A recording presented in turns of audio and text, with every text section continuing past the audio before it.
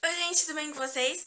Pra quem não me conhece, eu sou a Amanda, esse é meu canal Livros e Afins E eu estou aqui pra poder falar sobre A Caminho do Verão, da Sarah Dessen E Onde Deixarei Meu Coração, da Sarah Menig. Podem esperar que esses livros não têm só em comum o fato dos dois terem como autoras duas Saras, é sério. Tem muito mais em comum do que parece. So cold,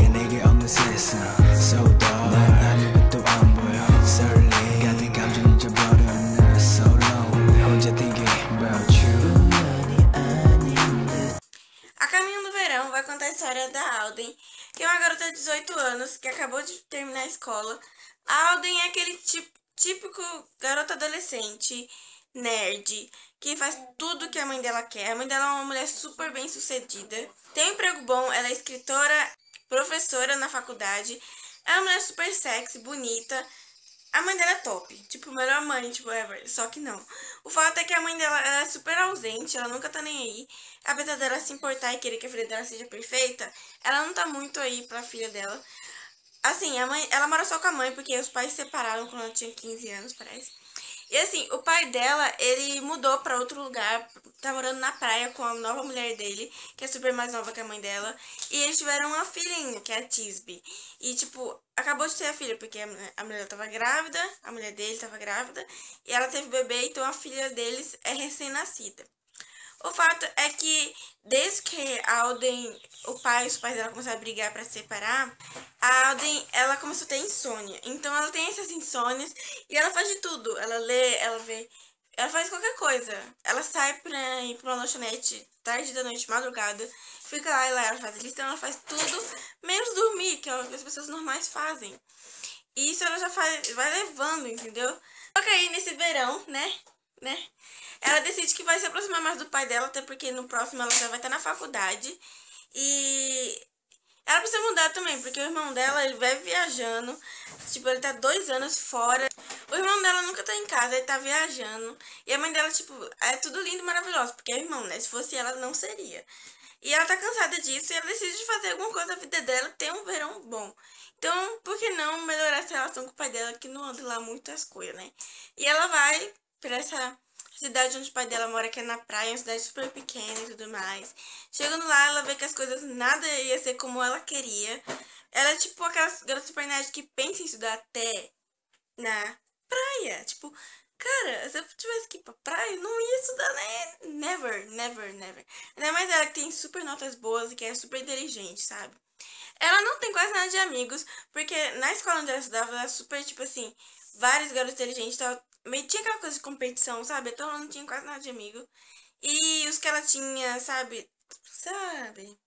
Então, nessa cidade, ela acaba arrumando um monte de amigos, inclusive a Meg. Mas é de uma forma bem diferente, só que quem lê vai entender. E até que ela conhece o Eli, que de princípio você vai dizer... Ah? Só que, tipo, ele é um cara muito fofo, muito fofo. E só depois, quando você vai conhecendo ele, é que você vai entendendo. A princípio, ele parece um pouco meio sem noção. Mas ele não é sem noção, sério. Isso é bem calado. Bem calado no começo. Bem calado. É. E ele é skatista, tem cabelo comprido. E ele é totalmente diferente dela, sabe? Totalmente diferente. E é obviamente que ele começa a falar com ela. Ele não é um cara que fala muito, mas ele vai começar a falar com ela. Porque é sempre assim, né? A gente sabe disso. E, assim, a princípio, a Alde, a, ela é completamente a cópia da mãe dela. É aquela garota nerd que tem um futuro pela frente, que é completamente egoísta. Ela só pensa nela, ela só quer, tipo, ser cada vez melhor e ela é uma pessoa bem complicada. Ela super se acha, ela é bem arrogante, ela é super grossa. E, tipo assim, ela é aquele tipo de pessoa, assim, que você odeia. Você odeia. Não tem como não odiar essa personagem no começo, cara. Não tem como não odiar. Não tem como se, sabe, se conectar com ela no começo. Porque ela é um pé no saco. Ela é muito chata. Ela quer que todo mundo seja igual a ela. E ela é um saco. Ela é uma cópia da mãe dela. Uma cópia. Só que aí, obviamente, que ela vai mudar, né? Ela vai mudar. Até o final do livro você nem reconhece mais essa menina. Eu gostei bastante porque o romance é pé no chão. Ele não é aquela coisa meio tipo. E eles se apaixonaram e enlouqueceram, e eles são juntos, vão casar ter três filhos. Não. Não, não. Obviamente que, assim, falando os personagens. como eu disse, ela é um saco, ela é um pé no saco, a mãe dela é um saco, é um pé no saco. A madraça dela é a pessoa mais fofa do mundo. Eu acho que eu achei legal isso, porque a Sarah desce e ela colocou. A madraça sempre tem aquela coisa de ser a madraça ser ruim, ser mal, querer que a menina se ferre, mas não, ao contrário. Essa madraça é fofa, ela gosta da Alden, ela quer ser amiga da Alden. E ela é a pessoa mais fofa do mundo. E dá tanta pena dela, gente. Nesse livro dá tanta pena dessa mulher. Aí tem a irmãzinha dela, Tisbey, né? Que chora pra caramba, chora pra caramba, mas ela é recém-nascida, né? E tem o pai dela, que é um completo imbecil. Eu, sério, eu odiei mais o pai dela do que ela mesmo. Será que dá pra fazer isso? Dá, pois é. E a mãe dela também é complicada. Assim, a maioria dos personagens, você for levar em consideração, são um pouco chatos. Mas assim, há uma mudança em tudo. E no final das contas você fala, meu Deus, que livro fofo, que livro amor, amei, amei. Com isso você vê que a personagem teve que sair da zona de conforto dela, viajar, ficar na casa do pai dela para poder ver que ela tinha que mudar, ela tinha que mudar o que ela era, assim, sabe? E ela mudou e, ai, que livro fofo, sabe? Recomeçar, sabe? É exatamente isso. E agora vamos falar de Onde Deixarei Meu Coração, da Sarah Manning. E como eu disse, ele tem um pouco mais parecido do que Imagina. É, eles são bem parecidos esses livros. Onde Deixarei Meu Coração vai contar a história da Bea, que agora tem 17 anos, está no último ano da escola. E a Bea é aquele típico garota nerd Pois é, ela é aquela garota nerd que faz tudo que a mãe dela quer. A mãe dela é completamente controladora. Ela não deixa ela fazer nada. Ela acha que a partir do momento que ela sai, ela vai engravidar. Tipo, ela vai conhecer o cara pela primeira vez e vai engravidar dele. É isso que a mãe dela pensa.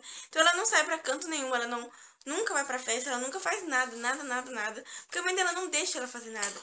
E ao contrário do que você pensa, ela é super maldade, ela é super mal, ela é rebelde. Ela é... Não. Ela é a garota perfeita. A filha é perfeita. Ela não faz nada de errado. Ela sai da escola, vai pro trabalho chato. Ela tem uma vida bem, tipo, porre mesmo. Mas ela não liga. Ela não liga.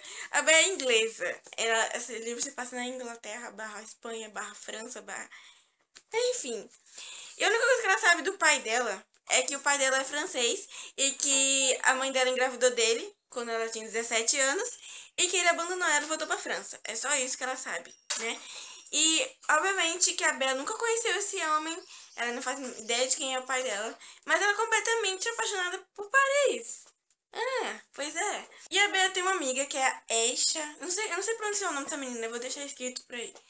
Essa garota parou de falar com ela porque ela virou super popular e ela virou super amiga dessa Ruby. E, obviamente, que essa Ruby é a garota popular, ela super. Ai, todo mundo ama ela, todo mundo quer ser ela, todo mundo quer ser amiga dela. E, de repente, essa amiga dela volta a conversar com ela, volta a querer ser amiga dela. E o melhor, chama ela pra poder andar com a Ruby. E essas meninas super populares. E ela chama pra andar com essas meninas, que elas são a cara, elas são idênticas às meninas malvadas, sério, gente. Sabe aquelas meninas malvadas do filme lá, com a com a Lindsay elas são idênticas, sabe? Um bando de menina que se odeia, mas tá tudo junto porque tá legal, tá tudo ótimo, tá tudo maravilhoso. E ela começa a fazer amizade com essas meninas, começa a andar com elas. E aí essas meninas chamam ela pra ir pra Espanha. E assim, quando, antes disso, ela começa a fazer amizade com essas meninas, ela começa a viver a adolescência que ela nunca viveu. Ela começa a sair, conhecer pessoas novas. E obviamente que ela fica completamente encantada pelo mundo da Ruby. E apesar da Ruby ser completamente ridícula, ela quer que a Ruby goste dela, porque, né, gente, é uma cópia de Meninas Malvadas, isso. Não tem como não ser. Ela é uma vaca, mas eu quero que ela goste de mim, sabe? É bem isso. E aí, ela chama ela pra ir pra Espanha e ela nunca viajou sozinha com as amigas. Então ela meio que fica tipo, ah, minha mãe nunca vai deixar. E acaba que acontece alguma coisa e a mãe dela deixa ela aí. E ela vai pra Espanha com essas meninas e tá tudo indo maravilhoso, só que não. Chega na Espanha, nada é como ela imaginava. E acaba que ela está completamente perdida. Acontece alguma coisa e ela está indo para Paris. Sabe? Ela muda totalmente os planos, agora ela está indo para Paris. E no meio disso ela acaba conhecendo um grupo de amigos americanos, mochileiros, que estão mochilando pela Europa no último, antes do último ano da faculdade, sabe? E esses amigos são algumas garotas, alguns garotos, sabe? Misturado mesmo. E no meio desses garotos ela vai conhecer o Toph. Que é não só o tipo dela, sabe? Ela tem um tipo na cabeça dela que ela ia se apaixonar. E ele não é só o tipo dela como o meu. Então, gente, ele é amor, amor, e amor. O Tolf é amor, só digo isso. E ela mesma diz em uma parte do livro que é uma garota romântica, então ela quer as coisas do jeito que ela sonha. Obviamente que nada é do jeito que ela imagina, mas ainda assim. Ai, meu Deus. E obviamente ela vai juntar esse grupo de amigos e ela vai começar a viajar com eles e muita coisa vai acontecer. É sério. Essa garota, toda certinha, que não fazia nada de errado, que fazia tudo perfeito, começa a mudar. E não tipo assim, ah, ela vira rebelde, vira louca. Assim, ela vira um pouco rebelde, não tem como não virar.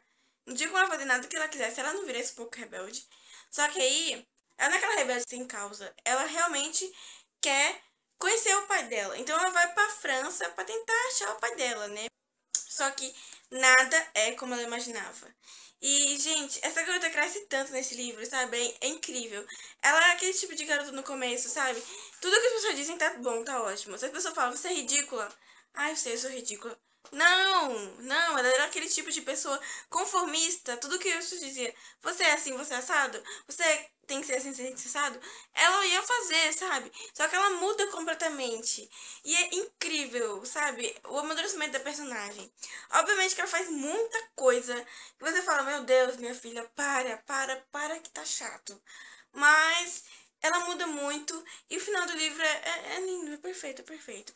Assim, ele dá um, sabe, na sua cara, tipo, eu não tava imaginando isso, mas ainda assim, eu achei incrível, eu achei que ele ia ser um pouco mais clichê, e ele não foi tão clichê assim. Sim, o romance é super clichê, mas é super fofo ao mesmo tempo. Eu gostei também porque ele é super pé no chão. E a gente vê que ela teve que sair da zona de conforto dela, ela teve que viajar para poder descobrir quem ela era.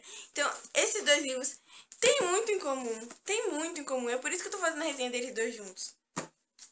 Eu li eles dois recentemente. Enfim, são dois livros maravilhosos. As duas autoras sabem muito bem trabalhar a história. São histórias, mesmo sendo um pouco leves e tudo mais, elas têm algo a contar. São livros que você tem que ler no verão e curtir, sabe? É um livro muito amor. Os dois eu li na época certa. Esse aqui eu li bem no calorão mesmo, no verão mesmo, no comecinho do ano. Esse aqui eu já li mais pra perto agora, tava chovendo mais pra isso. Então, tipo, cara, cara, perfeitos. Leiam, leiam, leiam. Enfim, essa é a resenha. Espero que tenham gostado. Eu amei ler esses livros porque os dois viraram favoritados, os dois levaram cinco estrelas. São leituras muito boas e que te passam alguma coisa, sabe? As personagens mudam tanto. Eu gosto tanto desse livro que as personagens mudam. E eu fiquei completamente apaixonada pelos garotos, principalmente pelo Tolf, porque o Tolf é aquele tipo de garoto que eu gosto, sabe? Cabelo bagunçado, garoto meio assim, na boa, de boa, maravilhoso, fofo. E ao mesmo tempo que tem defeitos e tudo mais, porque ele é um cara, ele é um cara normal, sabe? Então, adorei, adorei, adorei, adorei os dois livros, adorei as duas capas que são lindas e lindas e lindas, sabe? Essas duas capas são perfeitas, gente. Amor, amor, amor. Mas enfim, espero que tenham gostado da resenha. Se você gostou, clique em gostei. Se inscreve no canal se não for inscrito e quiser acompanhar os próximos vídeos. Comente se já leu ou quer ler algum desses livros. E até o próximo vídeo. Muitos beijos e tchau!